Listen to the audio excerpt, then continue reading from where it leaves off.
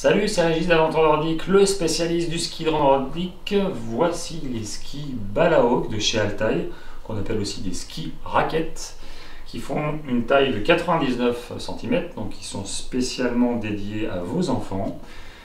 Techniquement, ils sont dotés de trois trous sur lesquels on va venir visser euh, des fixations universelles. Ces fixations universelles sont utilisables avec des bottes de neige ou des chaussures euh, de randonnée pédestre, donc il n'y a pas besoin d'acheter de nouvelles paires de chaussures de ski. Ensuite, techniquement, bah, ces skis sont dotés de quarts métalliques pour une bonne accroche sur toute neige et aussi d'une peau de phoque, un système anti-recul qui va permettre de monter sans reculer tout en optimisant la glisse sur les zones de plat ou dans les descentes. Donc si vous voulez initier vos enfants au ski de fond, à la randonnée nordique, c'est-à-dire à un ski hors trace, bah, je vous conseille vivement le Balaok, un ski léger et polyvalent.